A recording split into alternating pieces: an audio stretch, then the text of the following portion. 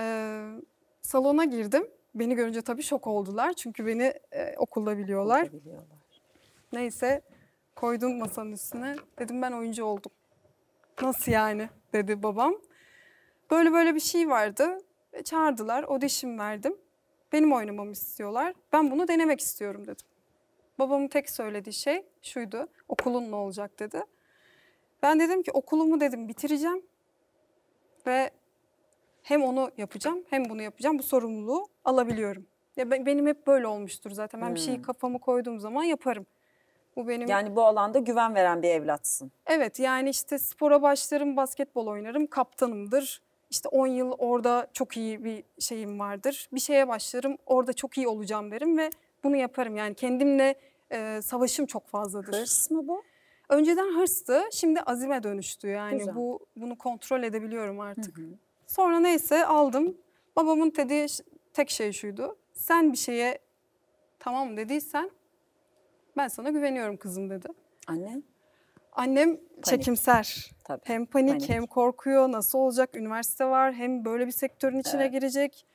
Bu kız genç işte bir şey olur mu falan derken ben ertesi gün sete gittim. Ertesi gün. Evet. Çünkü her şey birikmiş. Benim hayatım bir buçuk günde değişti orada. Sete gittim. Herkes bana bakıyor yani. Ben de onlara kamerayı ilk defa görüyorum. Sistem, bilmediğim bir sistem. Bana dedi işte bütün günün sahneleri benim. 20 bölümü bitirmem gerekiyor eksikleri. Ondan çıkıp ona girmem gerekiyor. Yani böyle bir tempo. Neyse ilk kamera tecrübem benim için çok önemli. Bana bir telefon konuşması verdiler. Bir yerde oturuyorum, telefonla konuşacağım. İlk sahnem bu. Hazırım işte saç makyaj yapıldı, kostüm falan giyildi. Dedim ki ben bu karakterim falan. E dedim oturdum bekliyorum. 3 2 1 kayıt dediler bir anda. Ben şimdi bir şeyleri yeni öğreniyorum. Tamam kayıt. Telefon konuşması var bekliyorum. Telefonum çalacak. Tabii çalacak ki açacaksın konuşacaksın. Bekliyorum, bekliyorum. Bir sessizlik böyle. Ekipten çıt yok. Dedim ki bir şey yanlış gidiyor ama ne gidiyor bilmiyorum yani. Kamera orada, ışık orada, yönetmen orada. E dedim niye telefon çalmıyor? Kestik dediler o arada. Ne oldu dedim. Bir şey ters gitti evet. E dedim konuşmaya başlamadın dedi. Ama dedim birinin araması gerekiyordu beni. Kimse aramadı dedim.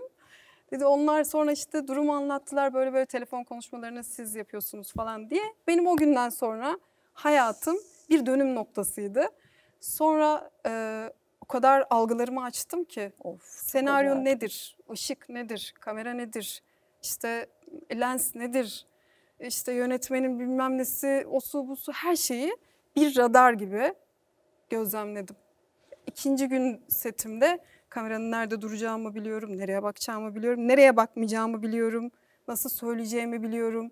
Yani bu o an kendimi o kadar sıkmışım ki hani buraya girdim bilmediğim bir şey ve algılarımı öyle bir açmışım ki bir hafta sonra sanki çok zamandır bunu yapıyormuşum hissi vardı. Orada bir güven geldi ve bu yola devam etme kararı aldım. Sonra okul. Sonra e, bu dizi Ankara Üniversitesi'nin Fen Fakültesi'nde se- çekiliyor. Tamam. E, Fen Fakültesi'nde benim bölümüm de var Kırıkkale'de Biyoloji. okuduğum. E, ben sürekli Ankara'dayım ve bu okulun içindeyim. Tamam. Öğrenci olarak orada Evet. okuyorum. Orada çekiliyor sahnelerim. Dedim ki bunu dedim kolaylaştırmam lazım. Ben dedim en iyisi Ankara Üniversitesi kimya şey bölüm bölümü de şey üniversitemi değiştireyim. Biyolojiye geçeyim. Tamam. Baktım denklik yok. Dedim bir daha sınava gireceğim. Şaka. Evet. Sınava girdim o yıl. Bu arada çalışıyorum da yani her gün setim var. Sınavda e, bir önceki aldığım e, Puanın. puanın çok çok üstünde bir puan alarak Ankara Üniversitesi Kimya bölümüne girdim. Ne diyorsun ya? Evet ya bu bu kendi içimdeki o söz verdiğim şey, Evet. babama verdiğim söz, anneme ve bu sorumluluğu hakkıyla yerine getirebilmek için verdiği o bilinç yüzünden diyeyim aslında. Kendime çok acı çektirdim. İyi bir şey mi bu? Değil. Ama bunu o çe- çemberin içindeyken fark edemiyorsun. Söz verdiğin için kendinden vazgeçmek ve kendini zorlamak. Yapar mısın artık? Yapıyorum ya hala ama eskisi kadar değil. Peki mesela annene ya da babana o zaman ya ben size böyle bir söz verdim ama bu beni çok zorlayacak, iyi gelmeyecek deseydin anlamazlar mıydı? Bunu ben kendime söyleyemezdim. Çünkü ben hep böyle kendi başına kararlar alan, bunu uygulayan ve başarılı olan bir insan olarak kendimi kodlamışım. Ne, ne olur uygulamazsın? E, çocukken bunu algılayamıyorsun. Ama şu an bunu Şimdi yaptığım olur? için şimdi hiçbir şey olmaz. Değil mi? Tam tersi yani aslında Vazgeçmek belki de anı hakkımız. anında yaşamak çok değerliymiş onu anladım. Evet bir de anda söz vermek isteyebiliriz.